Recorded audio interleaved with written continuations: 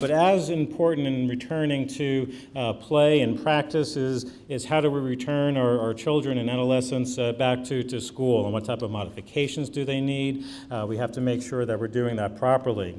Uh, to talk about that is Dr. David Salsberg. Uh, Dr. Salsberg is a licensed clinical neuropsychologist here at uh, NYU in the Rusk Institute, where he's also clinical instructor, and he serves as Associate Director of Pediatric Psychology. Um, Dr. Salsberg has been my go-to person person uh, whenever I, I uh, see a, a, child or an adolescent uh, with, uh, uh, with, with concussion, and he and his team have been uh, extremely valuable in helping guiding these students returning to school, as well as providing the support that and education that the, the children and their parents need. So I'm um, delighted to bring Dr. Salsberg to the podium to talk about returning to learn.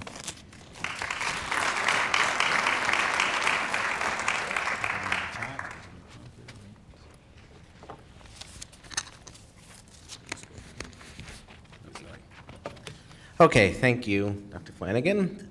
So just to reiterate some of, I think the take home that Dr. Cardone just said, that the approach to concussion, especially for children, um, is really needs to be individualized because concussion, there's no one formula, there's no one person or, or type of person that gets concussed, um, and we definitely need a multidisciplinary, individualized approach. So um, there is a, is a very wide range of presentation for children. It depends on their age, it depends on the nature of the injury, but also who and what they were before. So children um, who are 16 and in the middle of finals will their symptoms will affect them differently than a seven-year-old who's uh, going back to um, second grade. So we really need to have, um, for children, a very pediatric focus to all of the assessments that we're looking at. Um, there's a general guidelines and framework, but um, you know, again, the, the different doctors, different therapists, different perspectives is important. The uh, Dr. Cardone had mentioned neuropsych screenings, and there are different. There's a lot of controversy on this. There's a lot of um, companies looking at computerized ways to uh, look at screenings baseline and screenings afterwards. So some of the neuropsych testing is screening, some are more in-depth testing, which I can speak speak about. Um, but in general, the team besides a team like at NYU, really has to include the family, the school, and the child. So when the concussion first happens, um, the, as was mentioned by the other physicians, there needs to be medical clearance. We need to assess all of the things that you would think of with medical, neck, uh, physical, balance, um, any neurological symptoms, et cetera. Um, and as was mentioned, the child should be symptom-free for 24 hours before we talk about returning to learn. Some children don't want to return to learn, to be honest with you. So you can ask, depending on my child, the time of the week, the time of the month, um, I'm not sure how quick they're going to want to return to learn. But obviously, this is important. Um, it really matters what time of year, what kind of student they were. Um, you know, can't emphasize enough repeated concussions. So children who have had concussions are more susceptible or can be more susceptible to more concussions. And the effects can be um, exponential. And as was mentioned, not all children will have symptoms, but those who have a history of symptoms certainly need to, uh, or a history of concussions need to be watched um, more carefully. And what we really emphasize in our center here, especially in pediatrics, I know um, Adam Graves said we shouldn't talk about fighting, but when we have to advocate for a child, we do fight with the school districts. A little bit different. Um, but we really need to make sure that the school system that's receiving the children back um, have the resources without fighting, preferably with education and with giving them the support for integrating a child back, but if needed, really advocating for a child. Um, so, as was just mentioned, and, and it's very important, we have to find this delicate balance between taking this invisible injury seriously. As, as Adam said, you know, when you break your finger or break a, uh, your, your leg and you're wearing a cast, you see the injury. Here you don't see the injury. And we're very careful at making sure that people understand that this can be can be a serious injury. However, we also do need as a team, as parents, as professionals, need to balance that with um, what, the, what the facts are, which is most children will recover from this. Not all, um, and I want, don't want to minimize their symptoms. We want to keep very alert to it, but we do want to convey um, a lot of positive in terms of resilience and strength and, and recovery here. So always need to, you know, in, in assessments, we always think about uh, where they were before, were there learning issues before, were there attention issues before. Um, you know, this is this becomes something that often when we go to schools to talk about reintegrating a child back, and we're really trying to get them to understand that the child changed. They had a concussion. There's changes in their attention, in their stamina, in their fatigue. Um, as was mentioned um, by Dr. Galetta in the, the study in neurology, what, what's something that we find is affected? It's new learning. Well, this is a period of new learning. Every day and every week in your child's life is new learning. So even if all we're affecting is new learning, we're in trouble because this is an important time.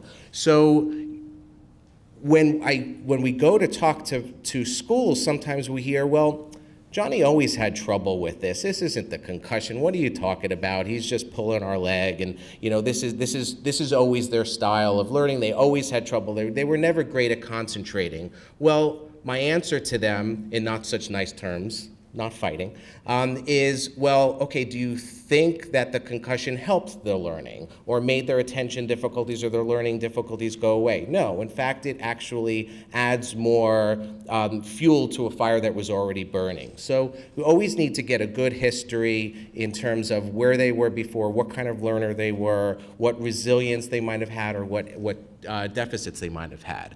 Um, Okay, so yes, they need cognitive rest, and unlike what the children think, that does mean video games too. That is not only school that we have to advocate that the child actually rests, they can't just go home and, and play video games. So I just figured that that needed to be said. Um, so again, we need an individualized approach. I saw that there was some, uh, there was a table out there from Brain Injury Association of New York. There's some good data, good um, uh, pamphlets and information from them, from CDC, um, which highlights a lot of these things. Um, we certainly need them to be symptom free for 24 hours. We need to stress the expectations of recovery. Um, we need to make a gradual uh, return to learn. So that might mean half days, that might mean um, individualized instruction. As much as possible, we do want them, as soon as they have medical clearance, to go back to school. So even if that thing, even if that means that we want them to work one-on-one -on -one with an educator, that can happen in a school building. It doesn't have to happen in their living room. So this is something that it requires a lot of negotiating and balancing with the family and with the school. Um, we need to, as they get more and more symptom free, increase their stamina. A big thing that happens here is fatigue, cognitive fatigue, how much harder they have to work. We're going to hear about balance. Require, if you have difficulties with balance, you have to put more energy on that. So anything that, that takes away energy, fatigue, any of those reserves are going to affect learning and their ability for uh, being available for school. So neuropsych assessment, yes, there's a lot of impact, there's a lot of different testing, impact and all of these things. Most children should not require a full neuropsych eval in any way, shape, or form, um, unless there's a history, unless they have a long history of other learning issues, attention issues. Um, you know, it's sometimes important because that's what school districts look at. School districts, if a center doesn't look at some of these assessments, they'll do their own. So looking at cognitive functioning, how it's, how it's affecting their learning, sometimes will help, a neuropsych assessment that's a little bit broader might help that. Um, but again, we need to take the context of where they were before. Um, we work very closely with educating the educators, doing in-services at school, um, again, advocating as necessary. So the, a lot of this can be informal. If, there's, if, if the child is making progress and really just talking about a week or two, we don't have to do anything formal. I know there's people from school districts here. Sometimes we do get formal, what's called the 504 plan, which is um, without classifying the child, accommodations to, to reintegrate them into a mainstream environment. Um, if symptoms persist or if this is insult after insult after injury, then sometimes a more formal school program needs to be done. Um, this is what a 504 is. It's accommodations to accommodate a child. That could be extra time. That could be um, where they're seated, working in, a, in the guidance counselor's office, anything like that. Um, the, if a child does have persistent difficulties that are going to affect their learning going forward, they are protected by the IDEA. And these are things that we can advocate from. We can advocate for half days. We can advocate for special educators. We can advocate for private school placement if that's what's going to be needed. It's, they're all um, enti- they're entitled to that by law. Again, a child with concussion should do better, shouldn't need all of these services, but those children that do persist, we do need to arm ourselves with the advocacy and being able to um, accommodate them and advocate for whatever school placement or accommodations are necessary. So recommendations, we always need to build in breaks, do things that increase their stamina.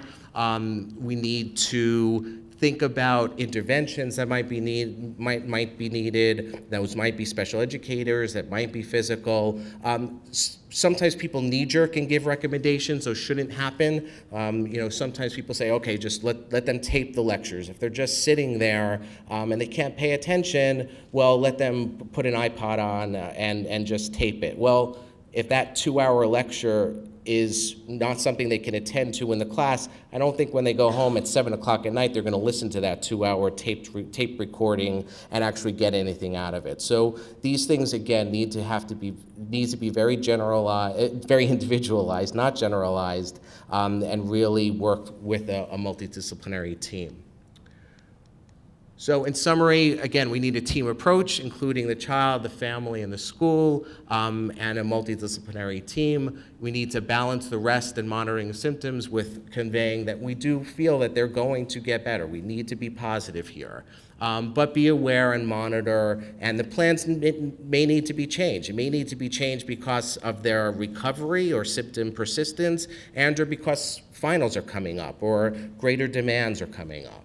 Um, and of course, always for your children, advocate and know your rights. If you need more support, use a center that knows what, what supports are available. Okay, thank you.